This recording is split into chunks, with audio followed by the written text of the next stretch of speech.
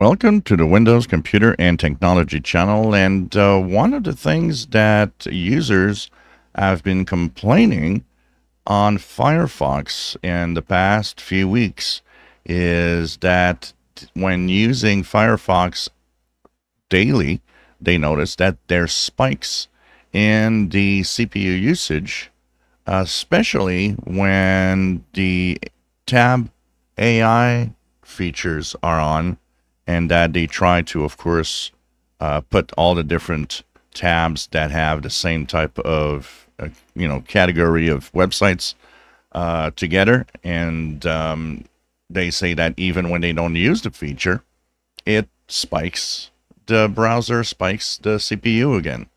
And so a lot of users are kind of not very happy.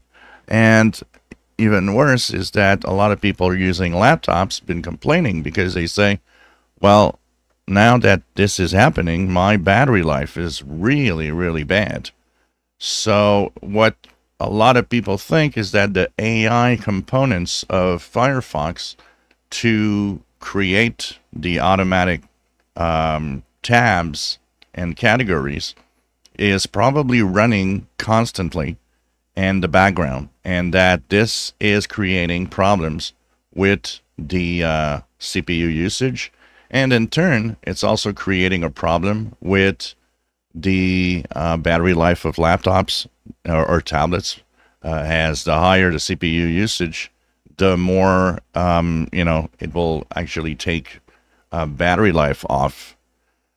So we'll see what happens next if if Firefox, if Mozilla, you know, tries to tweak it and fix it and make him make maybe make it more efficient but it would seem that it's making a lot of users unhappy about using the Firefox browser right now. So we'll see what happens next. If you are a Firefox user, did you notice that your PC's um, CPU usage is higher?